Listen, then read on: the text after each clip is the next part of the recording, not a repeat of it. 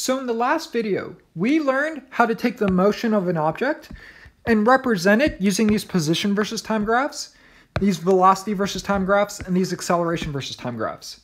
So I recommend you watch that video before watching this video because we're going to build upon those concepts. So if we have this baseball with this mo movement, we see at this time zero second instance, it's at the zero meter mark.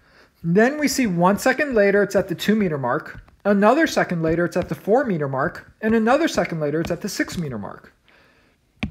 So we could represent this motion using this position versus time graph. And we could represent this motion using this velocity versus time graph. And again, we learned how to do that in the previous video. However, something important to realize is the area under this velocity versus time graph tells us the distance traveled during that time interval. So what do I mean? Well, if we look at this velocity versus time graph, we see the area underneath it is around 6. Again, we see this is 2 meters per second, and this is for 3 seconds. So 2 times 3 is 6. So this has an area underneath this curve of 6. So therefore, if the area underneath this curve is 6, then we know during this time interval, this ball traveled 6 meters. And I know this is a little tricky and abstract, but the point is, when you have a velocity versus time graph, the area underneath that velocity versus time graph tells you the distance traveled during this time interval. So again, the area underneath this velocity versus time graph is 6. This is an area of 6. 3 times 2 is 6. So this is an area of 6. So therefore, the distance traveled is 6 meters during this 3 seconds. And we know this. If we were to look at this, we would see after this 3 seconds, we're at the 6 meter mark. So therefore, during this 3 second time interval, it's traveled 6 meters because that's the area underneath the curve. So again, the so the point is what I'm saying is during this first 3 second time interval, the area under the curve is 6. So therefore, during this first 3 second time interval, the ball traveled 6 meters. That's exactly what I'm saying. And we can prove this because we know what we're doing is we're taking the velocity and we're multiplying it by a time, the time, and it gives us the distance traveled, the delta x, which is a, just a distance, the, the delta x. So if we rearrange this and divide both sides by time, we get the definition of velocity. We know velocity equals delta x divided by t, distance divided by time. So again, this is the definition of velocity. So if we rearrange this, we get this equation. So it makes sense. If you take the velocity multiply by the time, you get a distance traveled. And that's exactly what we're doing. We're taking a velocity and multiplying it by a time, just in the form of a graph. So let's try another example. Let's say we have this ball that's moving and it has a certain motion. And let's say we represent that motion using this position versus time graph we learned how to go from a position versus time graph to a velocity versus time graph. So let's say we have this velocity versus time graph. Again, remember the area under a velocity versus time graph tells us the distance traveled during that time interval. So again, let's try this example. We see this is 4 meters per second, and this is 4 seconds. So this would have an area of 16, because 4 times 4 is 16. However, it's the area under this curve. So the area under this curve would just be this region, which would just be half. So again, we know 4 times 4 is 16, so that's this entire region, but we're interested in the area underneath this velocity versus time graph. So that would represent this area. So again, just using some simple geometry, we know this area would be 8. So this would be 8 meters. So therefore, we know the ball traveled 8 meters during this time interval. During this 4 second time interval, the ball traveled 8 meters. Because again, the area underneath the velocity versus time graph, that area tells you the distance traveled. So again, simple geometry would tell us that this area is 8. So therefore, the ball traveled 8 meters during this time interval. However, something else important to realize is the area underneath the acceleration versus time graph tells us the change in velocity during that time interval. So what do I mean? So again, if we were to find the area underneath this acceleration versus time graph, this area would give us 4. Because again, we have 1 meters per second squared times 4 seconds. We're multiplying the acceleration by the time. So again, if we do that, that would give us the area underneath this curve. So that would give us 4. Again, this is 4 seconds times 1 meters per second squared. So this area would be 4.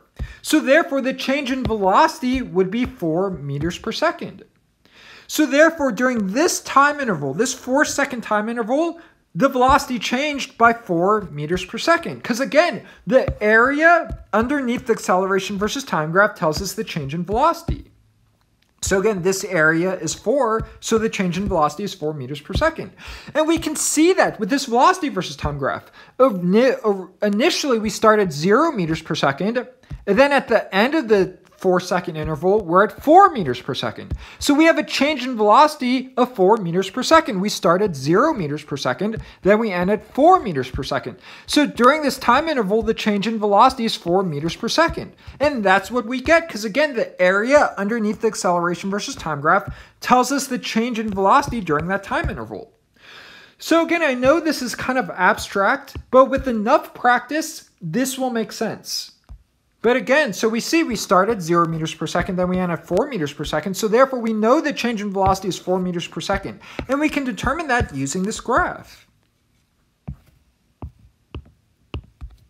And we can prove this. Because again, what are we doing? We're taking the acceleration and multiplying it by time to get the change in velocity. And if we divide both sides by t, by time, we get the definition of acceleration. We know acceleration equals the change in velocity over time. So again, this is just this equation rearranged. So, so that makes sense that if we take the acceleration and multiply by time, we get the change in velocity. That that's essentially what this equation is telling us. And so that's essentially what's going on. You take the acceleration and multiply it by the time, that gives us the area, which represents the change in velocity. Take the acceleration multiplied by time, you get the change in velocity. Take the acceleration multiplied by time, you get the change in velocity. So again, I know it's a little abstract, but hopefully with enough examples, it will start to make sense. So again, I know this is a tricky concept, but as long as you memorize these two rules, you'll do okay. And the key point is the area underneath this velocity versus time graph tells us the distance traveled during that time interval, and the area underneath this acceleration versus time graph tells us the change in velocity during that time interval. So let's just focus on these first two seconds. So let's focus on these first two seconds time interval. We see the area underneath the velocity versus time graph is 4, so therefore the distance traveled is 4 meters. Just something you need to memorize. And again, we see the area underneath the acceleration versus time graph is 4, so therefore the change in velocity during this time interval is 4 meters per second. And we can see that. We see we start at 0 meters per second, then we end at 4 meters per second, so the change in velocity is 4 meters per second. So, so that's what this is telling us. So what about this particular time interval? Well, again, the area underneath the velocity versus time graph is 16. So therefore the distance traveled is 16 meters during this time interval. And what about the area underneath this acceleration versus time graph? Well, we have an area of zero, so therefore the change in velocity was zero meters per second. And again, we can see that. We start at four meters per second, we end at four meters per second, so the change in velocity is zero meters per second, and that's what this is telling us. So what about this time interval? Well, again, we see the area underneath the velocity versus time graph is 8. This is an area of 8. So therefore the distance traveled is 8 meters during this time interval. However, what about the area underneath this acceleration versus time graph? Well, here we see the area is negative 4 because we have an acceleration of negative 1. So we have an acceleration of negative 1 and we have a time of 4. So therefore, negative 1 times 4 equals negative 4. So this area is negative 4 meters per second. And again, so therefore we know the change in velocity is negative 4 meters per second. So again, and we can see that. We see we start at 4 meters per second and we end at 0 meters per second. So the change in velocity is 4 meters per second. Minus 4 meters per second, it decreases by 4 meters per second. So that's what this area is telling us. So what about during this time interval? Well, again, the area underneath the velocity versus time graph tells us the distance traveled. So this area underneath the velocity versus time graph is 8. So therefore, the, the ball traveled 8 meters. But notice, this is minus 4 meters per second. So therefore, the ball went in the minus direction 8 meters during this time interval. So what about the area underneath the acceleration versus time graph? Well, again, we see during this time interval, the area underneath the acceleration versus time graph is 4. But notice this is minus 4 because this is minus 1 meters per second squared times 4 seconds. So therefore, because you're multiplying a minus by a positive, that gives us a minus 4 meters per second. So therefore, because the area underneath this acceleration versus time graph is 4, we know the ball decreased its velocity by 4 meters per second. And again, we can see that. We can see the ball started at 0 meters per second, and then it ended at minus 4 meters per second. So again, we can see that. And again, that's what this area is telling us. This area tells us that the ball decreased by 4 meters per second during this particular time interval.